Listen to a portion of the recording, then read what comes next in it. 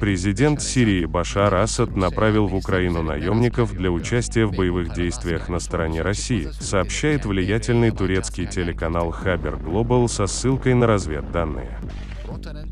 В сюжете говорится, что выезжающие из Сирии наемники собираются на авиабазе Ирибуни в Армении. Затем они направляются в североосетинский город Моздок, а оттуда вместе с российскими войсками в Украину. В видеоматериале отмечается, что Россия использует этих наемников в Украине, как и в Сирии.